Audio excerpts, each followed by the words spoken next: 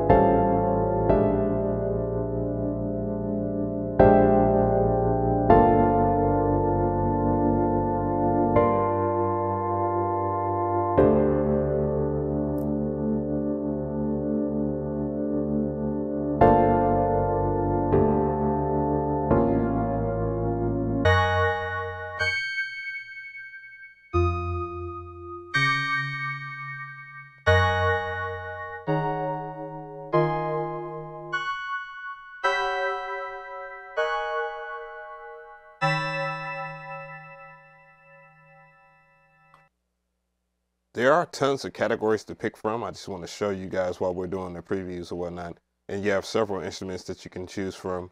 A lot of them very palatable. I mean, I can go through this right now.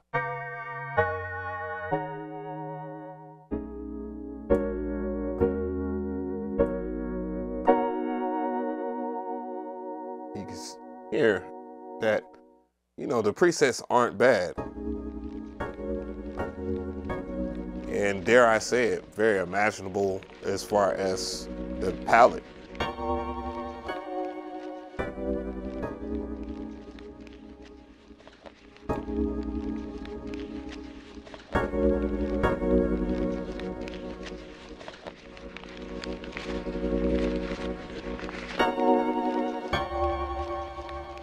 can kind of hear the lo-fi in this patch because they use key groups and we'll talk more about that in a second.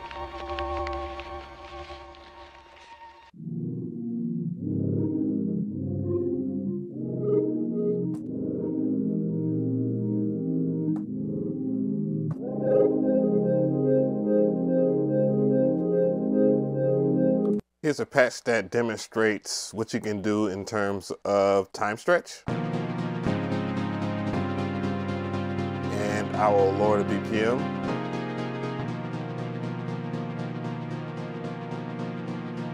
To about 81 BPM.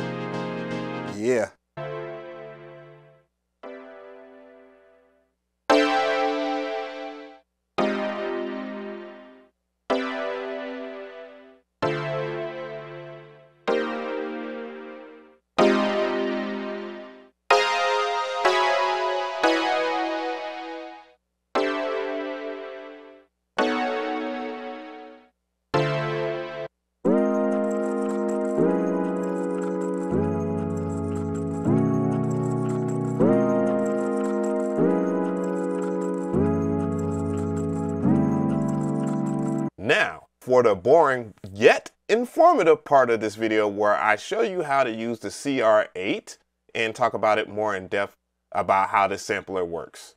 So let's start off with some of the preliminary functions of this right here, which is the CR8. Uh, one of the things that you can do is just drag in a sample and drop it in any DAW that you want. So I'm just dragging and dropping it over right now and it, it will populate. And here it is. So how does that sound?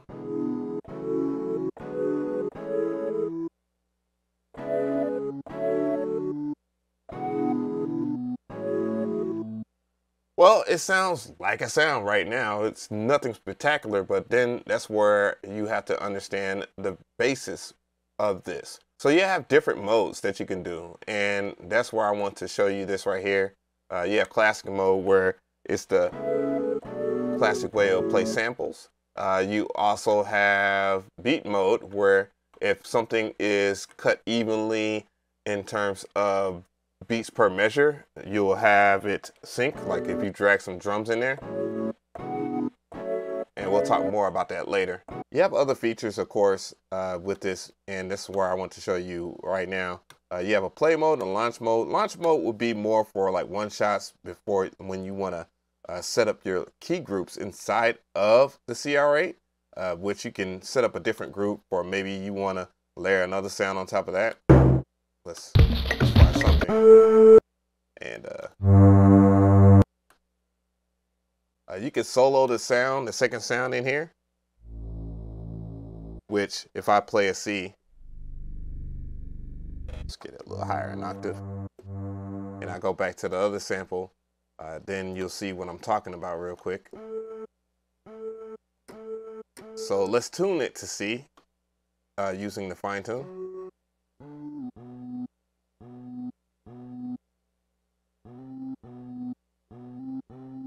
We go. And then now I will tune this.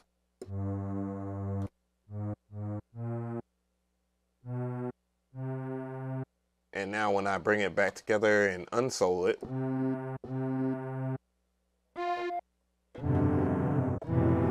uh, there's also different modes over here that I want to point out here. You can turn this off and then you can just bring your attention to the bottom left part of the screen. One of the cool things about this UI, and I had to uh, apply uh, Waves for this because they're not known for having the best of UIs, but if you hover over a parameter uh, you have information at the bottom left side of the plugin and you'll see what everything how everything works. So if I wanted to sync it uh, turn it off turn off syncing on one layer and by the way it, this works per layer so uh, just keep that in mind too. So if I want to do something melodic on this one uh, and choose unison on this I can do it on there and then go back and forth uh, it's quite confusing at first but then you'll see what I'm talking about a little later uh, you can also choose to glide.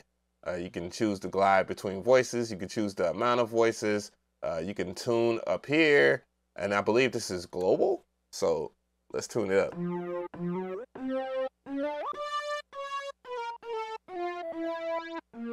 Uh, let's say that sound, the second sound that I use is a little louder. Then uh, I can just go ahead and lower the volume on it. So, so you can hear the original one shot. And that's something that, you know, other samplers don't do very well as far as like layering goes. And you can also route them uh, to specific keys too. So you can have multiple key groups and round them off and choose the amount of velocity. You have other functionality too. Of course, you can choose to start an endpoint.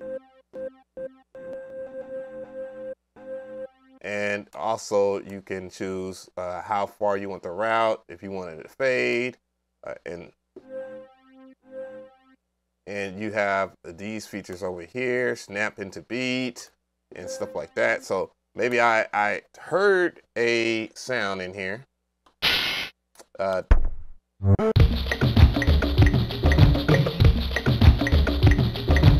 all right, so let's say I wanted to use that sound and I'm gonna go into beat mode and add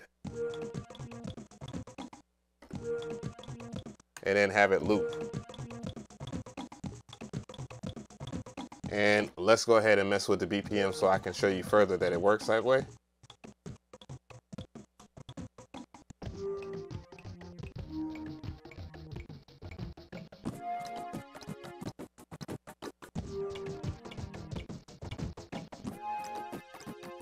I know it's a little low in volume. So this is your playground to uh, create your own sounds using one-shot uh, WAV files. And, you know, speaking of which, you can dive into the library too. So one of the things I wanted to show off here is, uh, let's go into CR8. And then I will hit this button, which brings up Cosmos. Uh, and what Cosmos is, it's a machine learning AI-driven way to uh, pull up samples and to organize your samples. And it comes for free with, uh, if you want to download it, you can. So the link's in the description box if you just want to download that instead of CR8. But uh, there is a demo version of this, by the way.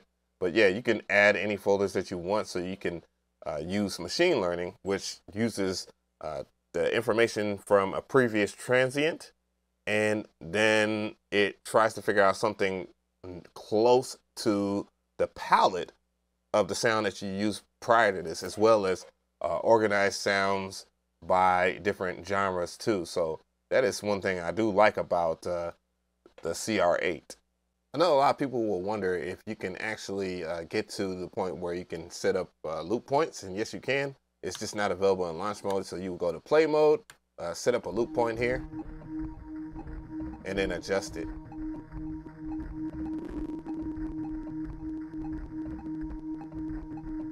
And if you want to smooth things out, of course, you can do that as well.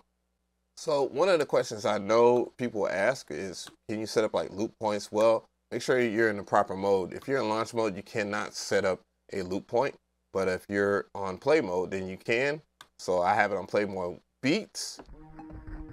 And you can adjust the speed.